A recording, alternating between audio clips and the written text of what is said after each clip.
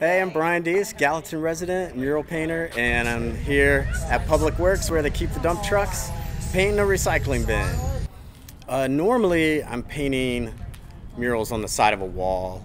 Uh, a lot of portrait-based stuff. Some of the murals I have in Gallatin are pretty representative of what I do. Portrait, giant portraits is what I love to do. Um, but my commercial work, it's it gets me all kinds of fun projects. So this is one that's definitely unique. Well, I'm very excited. This is my first time to see it.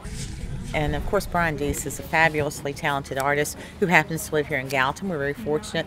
But um, I think he's doing a beautiful job of turning a dumpster into a piece of art. It's a project that we needed to do anyways. The cans or the dumpsters are getting rusted, and um, the project will help extend the life of the dumpsters and makes them look a lot better. So uh, yeah, it's definitely a win-win for us. So I think the message is strong, just like Gallatin. We are Gallatin strong. It's something we've been advocating for at the chamber, for our business community, especially during these uncertain times. And together, we are stronger. We're much stronger together than we are divided. So.